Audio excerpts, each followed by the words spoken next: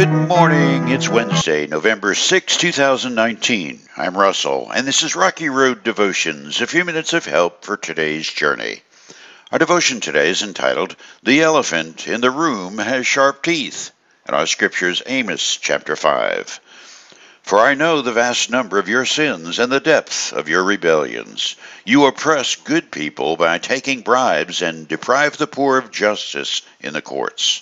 So, those who are smart keep their mouths shut, for it's an evil time.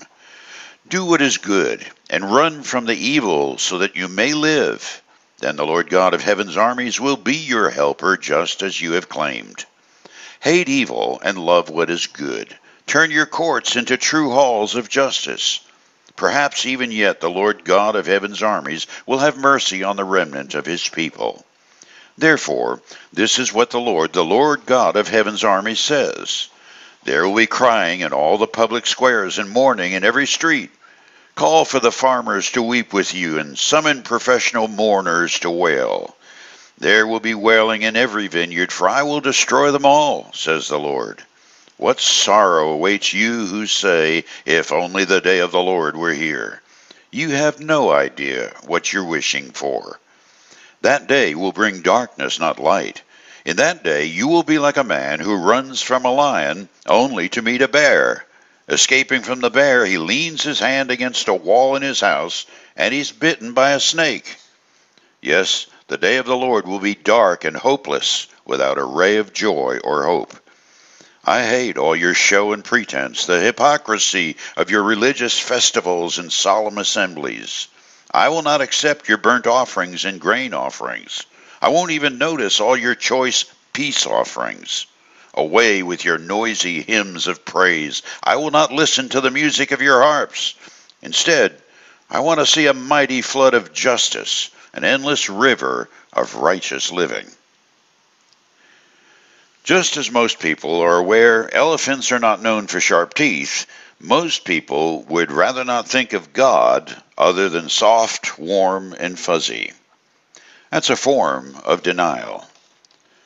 Amos, the sheep herding sycamore fig tree farmer turned prophet, took a walk into the capital city of Jerusalem and saw a whole bunch of folk who love to play politics and throw their weight around, get rich and fat, but were living in the worst form of denial. They imagined God couldn't see their black hearts and concluded that the idea of Judgment Day was a myth.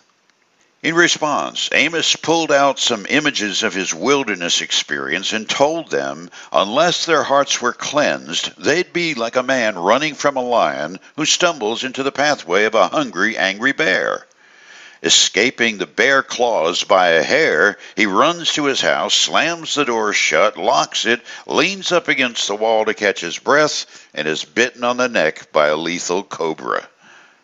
Amos tells the religious fakes they'd better get their acts together or their history would be written in their own blood, from bad to worse to worst.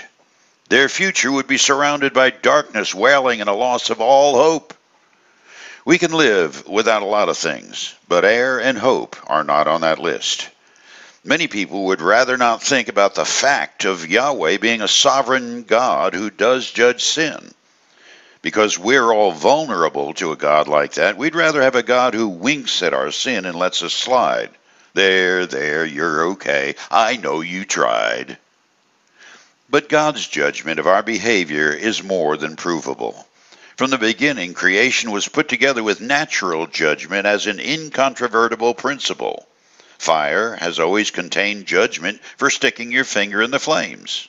Up has always had a violent result when gravity brings you in contact with down. And if your mother has to tell you to take out the garbage a third time, you'll find out what fury judgment can bring. The most evident proof of God's sharp toothed elephant in the room is the cross. Without the death of Jesus, no person is forgiven. No one escapes the bar of judgment. When it comes to justice, the kind of right behavior God expects is our unconditional love with all our heart, mind, soul, and strength, and loving our neighbor that way too. For you today, each of us on planet Earth wants a soft place to land. God has provided that. It's the fellowship of a close relationship with one to whom you can take all your sins and sorrows and fears. He forgives the heart's confession. He sets the captive free. And that's an elephant in your room worth talking about. You chew on that as you hit the rocky road. Have a blessed day.